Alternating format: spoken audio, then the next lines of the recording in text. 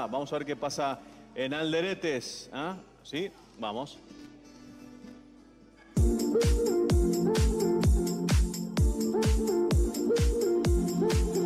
Muy contenta, un día histórico para la ciudad de Alderete, porque la primera mujer intendenta, así que lo llevo con mucho orgullo, pero también con mucho compromiso hacia todos los ciudadanos de mi querida ciudad de Alderete.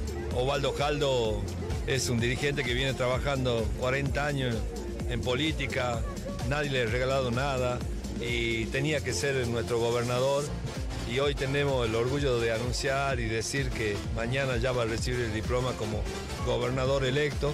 Y bueno, acá en Alderete con Graciela, eh, nuevamente en un acto, el primer acto como, como gobernador electo de Ovaldo Caldo, es un orgullo. Eh, no me olvido nunca que en febrero fue el primer acto de lanzamiento de Graciela, que también fue uno de los primeros actos, si no el primero de, del este tucumano. Invitado por este gran intendente, este gran compañero Aldo Salomón, la compañera legisladora Graciela Gutiérrez, intendenta electa por la ciudad de Aleretes, nos invitó hoy a este gran acto, este gran acto donde no hay duda, no hay duda que las familias y el pueblo de Alderete acompañó masivamente al frente de todo en la provincia de Tucumán. Una felicidad enorme, una alegría eh, de toda la familia, de todos los dirigentes.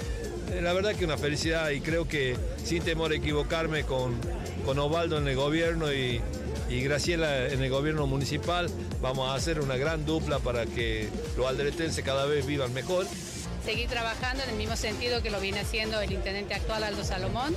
Así que bueno, yo también agradecerle a los que me votaron y también a los que no me votaron, porque les quiero dar la tranquilidad que, que acá en la ciudad de Alderete voy a gobernar para todos, sin distinción ni ninguna otra condición, sino para todos los alderetenses.